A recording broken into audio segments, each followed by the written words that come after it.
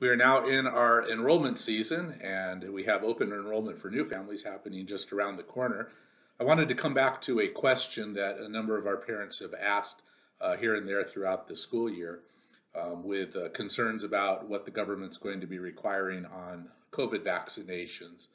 Uh, so uh, this is a multifaceted question and um, I'm going to uh, try to give you uh, everything you need to know um, at this point to make a decision because I know for um, some families, uh, whether a vaccine is going to be required for COVID to be in a school setting is one of the factors that you're making in your decisions for schooling next year. Okay, so like I said, it's a multifaceted uh, question. Um, parts of it involve what's going on now and then potentially what's going on in the future.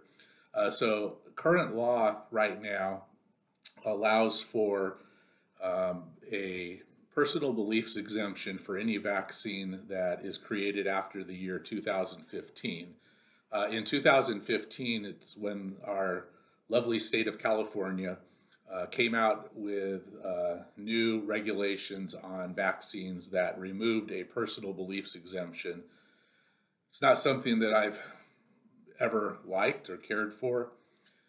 Basically, they wanted to take um, the decision making uh, power out of parents and uh, place that um, only in the hands of doctors. So currently, there's only a medical exemption for any vaccines that had existed at the time of that law.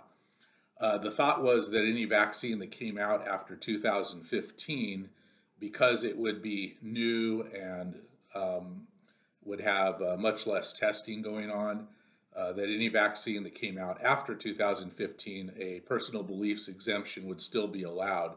So, as we stand currently, um, if a COVID vaccine is required in schools, and I say if because it's not currently required.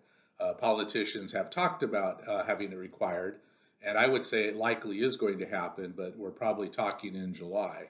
Uh, so, as far as next year goes, practically speaking, we probably should expect that a COVID vaccine is going to be added to the list of vaccines for school entry. But currently, there is a personal beliefs exemption that's going to be allowed. So here's how it would work for you. Um, as things stand currently, and I'll get to uh, one other thing about what could happen in the future, but as things stand currently, it's likely that COVID vaccines will be required. And if you are in favor of that, or you're fine with that, or you don't have a personal belief that would cause you to object to that, then you would plan on getting a COVID vaccine uh, for your child before um, the start of next school year. If you have a personal belief against that, uh, and there's a there's really um, there's no authority that's standing over you telling you what personal beliefs are going to be allowed and what are not going to be allowed. Um, a lot of that, um, I suppose, depends with us, and we're going to give a lot of wide latitude to parents uh, to um, have your own personal beliefs on that and make that decision. So we would just need you to fill out a form uh, that would say that you have a personal belief uh, such that you would not want to have your child get the vaccine and will accept that. Um, so Right now, we do not have that form, and that's because there is no law yet. So uh, I've been in contact with the Pacific Justice Institute that has advised us on these issues throughout the pandemic. As soon as the law comes out, again, likely in July, they are going to review the law first, and then they are going to be offering a template uh, to us that we could then use, uh, perhaps um, modify it to be specific to our school and then provide that to you as parents that you could fill out uh, if you um, have a personal beliefs um, objection to the vaccine. Uh, we'll go ahead and accept that, and so then you should still be fine. Um, you, those that have been with us for a while know that where our hearts are at are parental rights, and we really would like to see that you as parents can make those types of decisions. Uh, it's very similar to what we did with the mask mandate. Um, we felt that we couldn't fully give an answer until we first knew what the law was, heard from the Pacific Justice Institute on some advice, and then made a decision. So right now, as things stand, though, we, we do know that the current law allows for those personal beliefs, and it's only the form the specific design of the form that we're waiting on. Okay, now that's what's current.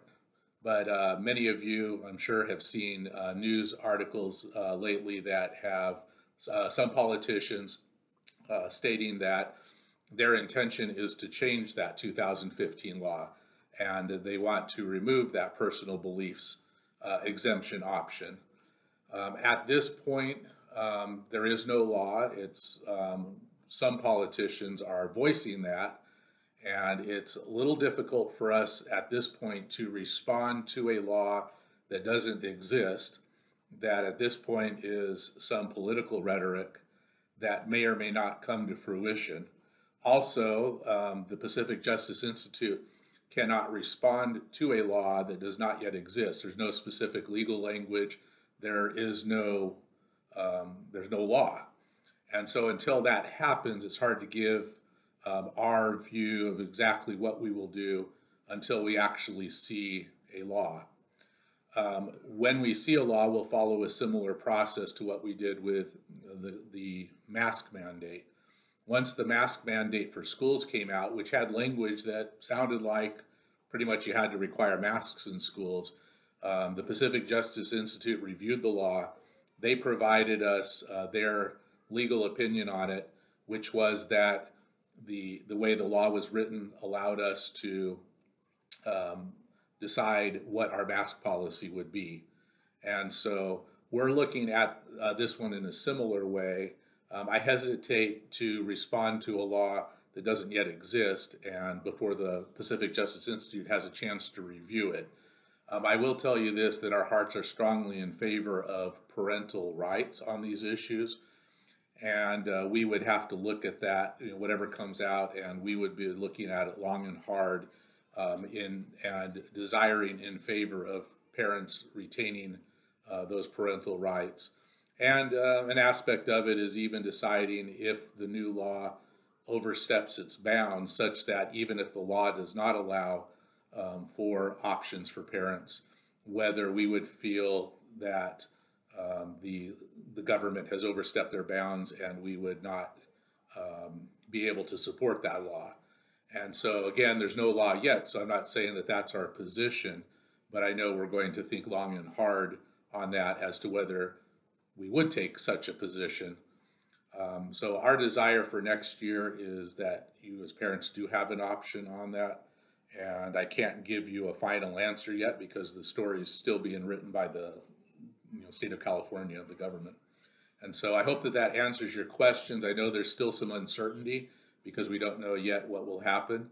Um, but we know for certain what is allowed right now, and that is if uh, you can get your child vaccinated for school next year, or if you have a personal beliefs, you can get an exemption for that, and that's where things stand right at the moment.